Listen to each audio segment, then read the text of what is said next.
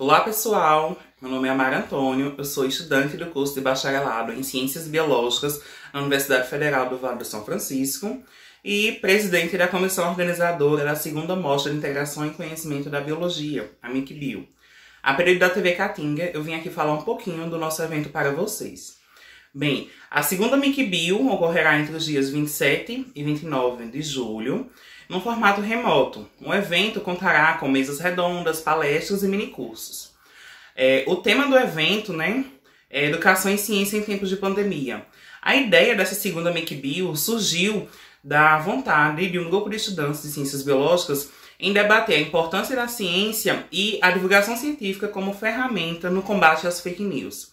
Em conversa com a nossa coordenadora do evento, né, a professora doutora Virginia Svedese, que é docente colegiada de Ciências Biológicas, nós vimos o quão importante e pertinente era também trabalhar a questão do ensino é, brasileiro durante a pandemia.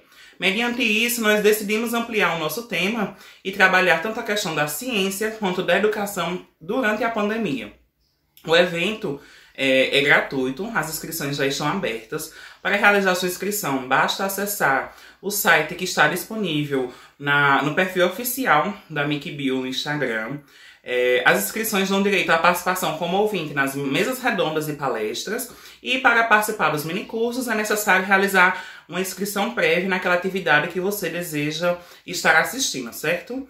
O evento também é, emitirá certificados para todos os inscritos que comple é, completarem a carga horária mínima de 9 horas de atividades, isso contando palestras e mesas redondas, certo?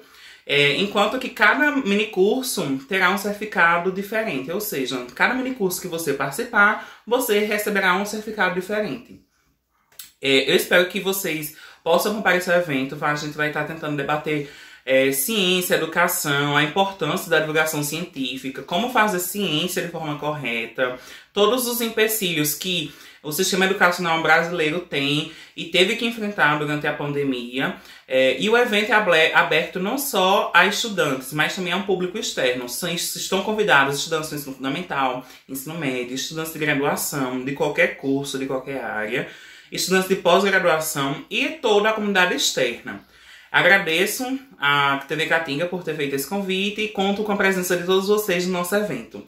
Tchau, tchau, pessoal!